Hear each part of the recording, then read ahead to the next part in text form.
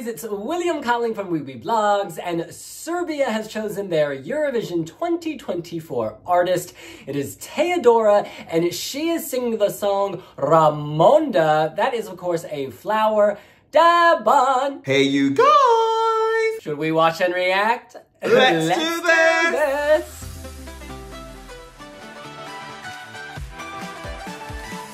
You guys, before we start, let me just flag an interview that Teya Dora gave to our Sinan Sadula in Belgrade. Speaking about the song, she explained that the flower, Ramonda, is a symbol of resilience and a symbol of her country rebuilding itself after World War One.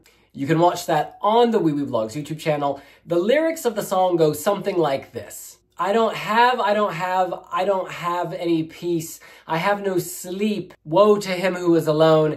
Everything is quiet, like underwater. I scream, but it's not heard. Behind the mountains, a white glow. I don't see the end in sight. This time is for the wounded. And there is no one to guide me to the bright star. The world is burning. Every flower, Ramonda's disappear. Well, that's a bit of a downer. All right. But from all of that grows the flower, so there is hope. Hitting pa lay. Oh, clouds. Beautiful, mysterious clouds. We're diving in. Oh, wow. Ooh, over the ocean. Looking like a mermaid. Is that Loreen dressed as a mermaid? Our girl is beached. Heart. She's singing with that heart.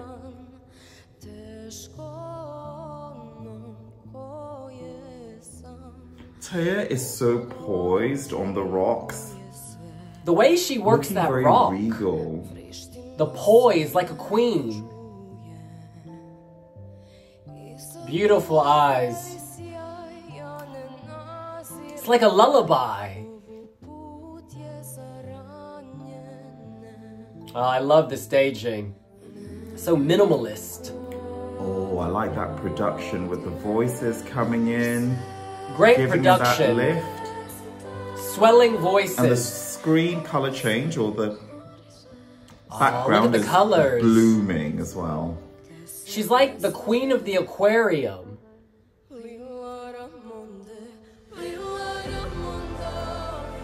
Oh! Excellent floor graphics. She could be in space. Or the ocean floor. Good lighting support. Fantastic lighting. Beautiful melody. This is so musical, melodic. Building, brewing, Build it. growing. Our girl's a construction worker. Lifting, elevating. Take us higher encompassing, widening, broadening. This is this it's is widening. Really good. It's uplifting. Oh wow. Where'd she go? I like that camera effect. Oh. Are those stars? Those are flowers. A million Ramonda.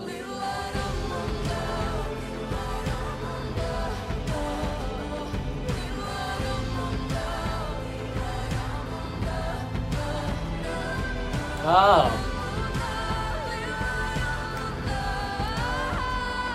Building in her own time.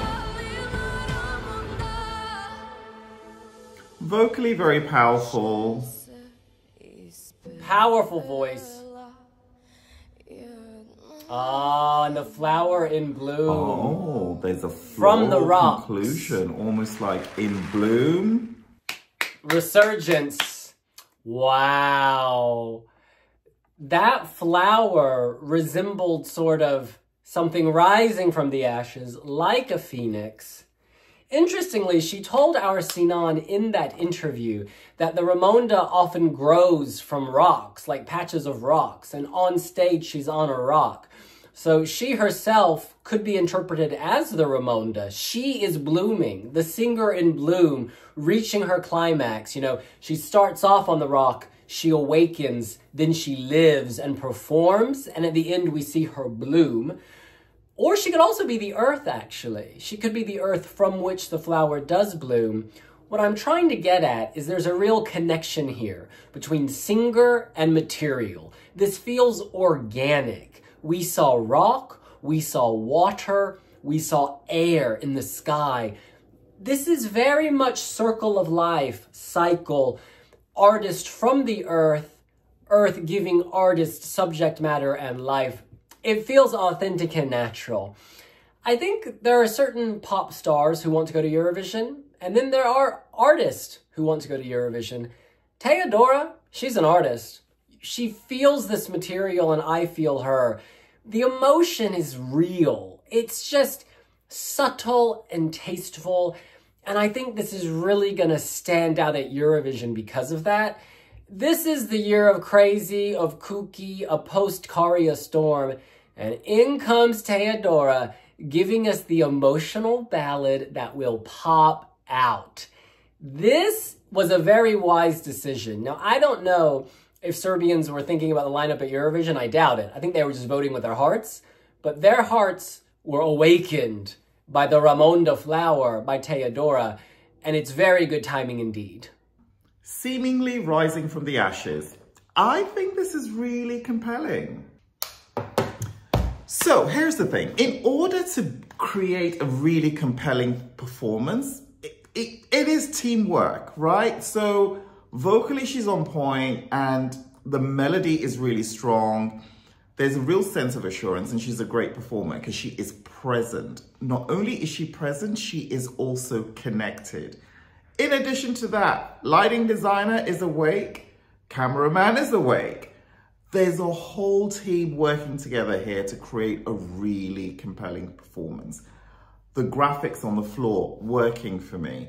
Um, I like the subtlety of this and the build it creates, creating a shift from being kind of withdrawn and insular to then just being really expansive and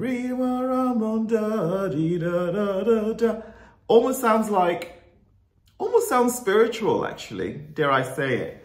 I really like it. The weakest element here for me is the wardrobe choices. I, I don't get why she needs to look like a rock star. The makeup is on point though, and I like the slightly wet, curled hair look. That, that works for me, but I would go for a very different, different fashion choices. But this is a minimal tweak. Um, I haven't heard the other entries at PZE, but um, yeah, this is working for me. This is really kind of amazing. One thing I would say, the staging is very dark.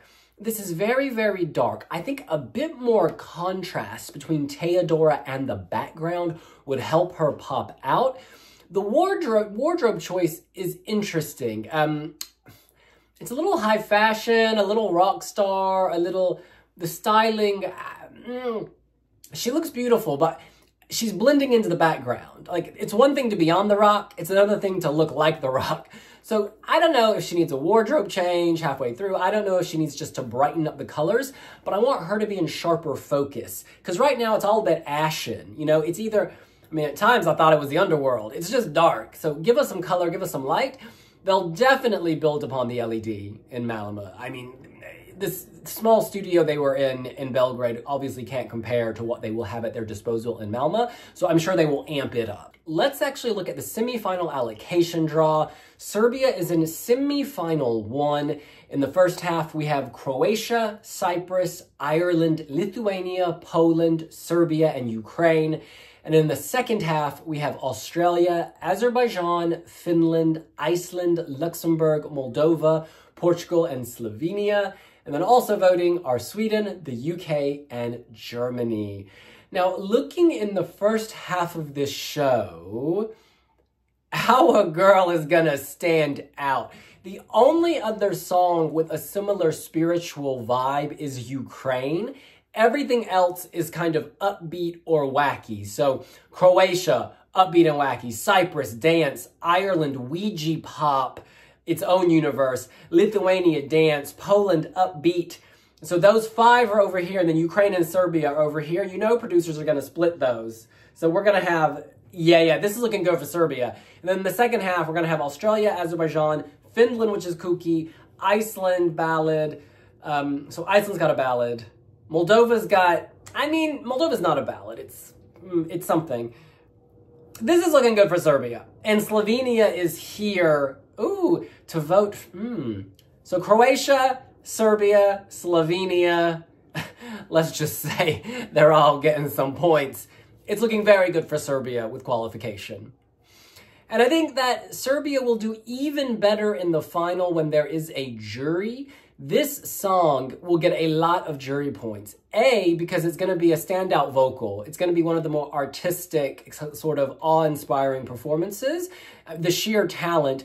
Plus, it's going to stand out because it's not kooky and crazy. I think jurors may get fatigue of all the kooky and crazy, and then in walks Teya Dora with all this emotion. Get it, girl. And another thing I love is when your CV really does indicate that you've previously been slaying. So this is a platform for elevation, not to just come and make your debut appearance and run with it. No, this is like, I have worked previously, I've worked very hard, and now I'm back with Ramonda. And if I have, if I can gather 110 million plays on digital music platforms, then you know we can push this further. We can even TikTok this moment. Yeah, I, I really like it. This is a hit maker that I'm excited about. And this is a song that is just so caressing and so beautiful. In terms of where this will feature in, um, in the sort of the running order or the semi-final, I, I care less about that. Is this a good entry? Yes, it is. Is it worthy of being a grand final entry? Absolutely. Could this be better?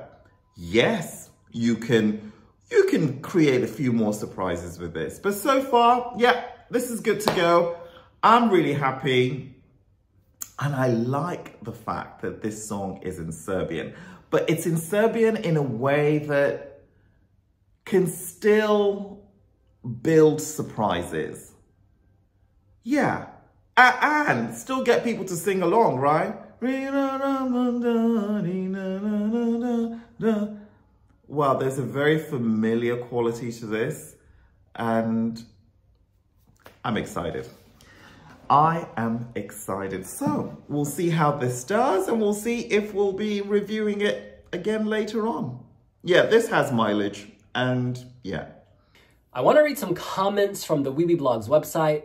This is Basti.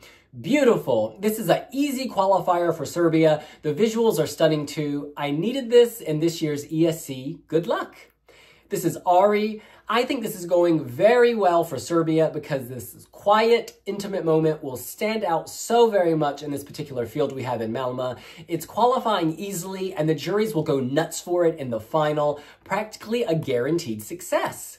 This is Colin. Teya Dora has one of the most beautiful songs in this whole national final season. It's an outstanding composition and a breathtaking performance. I honestly got goosebumps all over. The lyrics are also extremely lovely, patriotic without being exclusionary. The symbolism is very touching. Go Teya Dora.